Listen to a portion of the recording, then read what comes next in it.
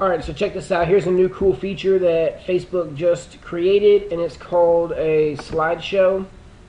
So if you click here on photo, video, alright, when you're going to make a post, you come down here to slideshow, and you go over here, find the pictures that you want to use.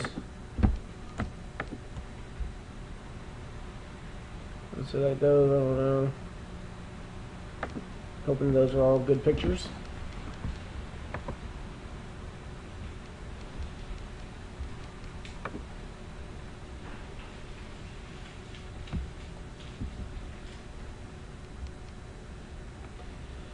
Alright, so then you could just like, you know, put check out this awesome house or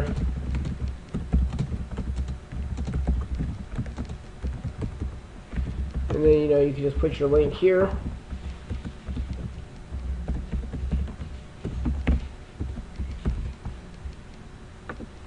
And then what's going to happen is they're going to make the video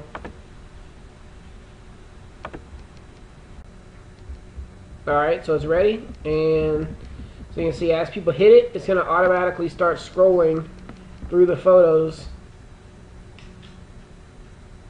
Right, so that's a new thing. It's going to catch people's attention. And it's a video, so if you end up running an ad with this video, you can also get those people for that retargeting, you know, in the custom audience bucket that watch the full video.